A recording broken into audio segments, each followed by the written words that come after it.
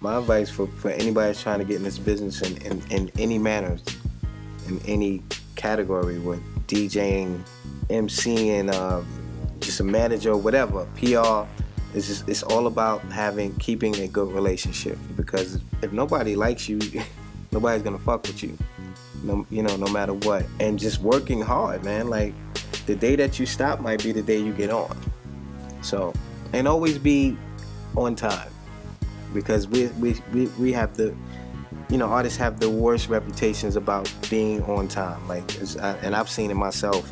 Like people people don't show up to their own video shoots five hours later. I mean you know it, i just seen so many bridges being burned throughout the, the last 30 years. So you know i just never wanted to be one of those people. I, I never missed a flight in my whole career. Never missed a flight.